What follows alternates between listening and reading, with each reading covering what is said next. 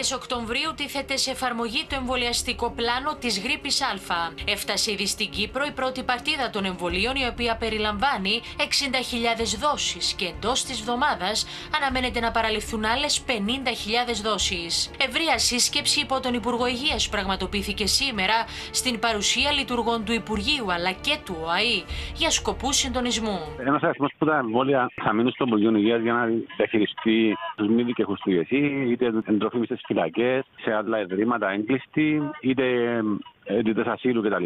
Άρα υπολογίζουμε περίπου πέραν των 100.000 θα διαχειριστεί ο οργανισμός ΟΑΗ. Την ερχόμενη εβδομάδα ο Οργανισμός Ασφάλισης Υγείας θα ζητήσει από τους προσωπικούς ιατρού για ενήλικες και για παιδιά να καταχωρήσουν τις παραγγελίες εμβολίων τους. Ακολούθως θα ξεκινήσει η διανομή η οποία συνήθως παίρνει πέντε μέρες και ευελπιστούμε ότι στις 11 Οκτωβρίου θα ξεκινήσει ο εμβολιασμός από τους γιατρούς. Στο παρόν στάδιο δεν θα αποσταλούν εμβόλια γρήπης Α στα φαρμακεία, ξεκαθαρίζει ο οργανισμός. Σε αυτήν τη συγκεκριμένη χρονική στιγμή αυτό δεν είναι εφικτό να γίνει για διάφορους λόγους. Κυρίως είναι ότι δεν μπορεί να αποβληθεί η, η απέτηση, άρα η καταγραφή του εμβολιασμού στον ηλεκτρονικό φάκελο του, του ατόμου. Αυτό να απαγορεύει ή μάλλον αποτελεί ένα πολύ σημαντικό μειονέκτημα στο να παραχωρηθεί ο εμβολιασμό στους φαρμακοποιούς. Μέχρι τα τέλη Οκτωβρίου θα παραλαμβάνεται τμηματικά η υπόλοιπη ποσότητα των εμβολίων μέχρι να συμπληρωθούν οι 180.000 δόσεις που έχουν παραγγελθεί.